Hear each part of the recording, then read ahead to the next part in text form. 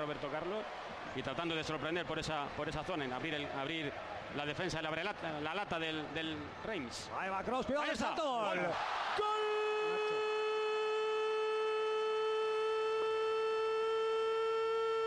de Nacho.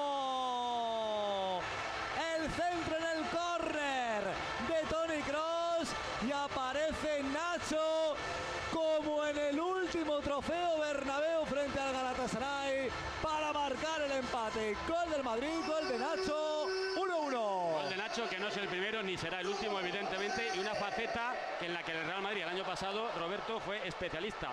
Muchos goles a balón parado y eso en partidos muy igualados, complicado. Es un arma magnífica que hoy se demuestra que sigue estando a punto. Esse movimento, o movimento dentro da área complica muito a defesa contrária. O movimento de Nacho ha sido perfeito.